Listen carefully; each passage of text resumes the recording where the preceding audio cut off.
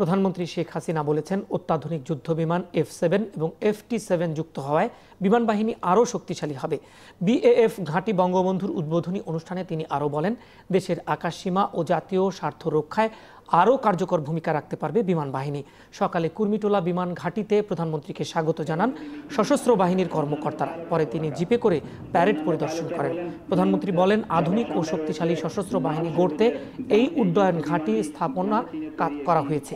শেখ হাসিনা জানান, খুব শিগগিরই চীনে তৈরি ষোলোটি যুদ্ধবিমান এবং রাশিয়ায় তৈরি নয়টি হেলিকপ্টার সশস্ত্র বাহিনীতে অন্তর্ভুক্ত হবে।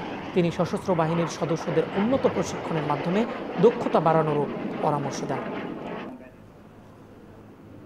বিমান বাহিনীর ঘাঁটি বঙ্গবন্ধু স্থাপনের মাধ্যমে বাংলাদেশের আকাশ সীমা এবং জাতীয় স্বার্থ রক্ষার ক্ষেত্রে বিমান বাহিনীর কার্যকারিতা সক্ষমতা নতুন মাত্রা লাভ করবে বলে আমি বিশ্বাস করি।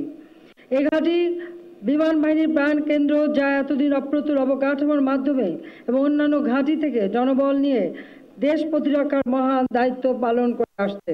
এখন নতুনভাবে এই ঘাঁটি প্রতিষ্ঠার ফলে অন্যান্য ঘাঁটির উপর চাপ কমবে। নতুন যুদ্ধ, বিমান ও হেলিকপ্টার অন্তর্ভুক্তির মাধ্যমে বাংলাদেশ বিমান বাহিনীর পরিচালন ক্ষমতা ও পেশাগত দক্ষতা আরও বৃদ্ধি পাবে।